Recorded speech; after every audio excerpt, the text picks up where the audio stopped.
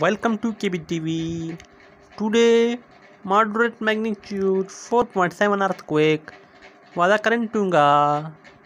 US Geological Service reported the earthquake hit 224.6 km depth on today, 17 June 2022. At the local time, 1 pm. For more update, like, subscribe and share KBTV.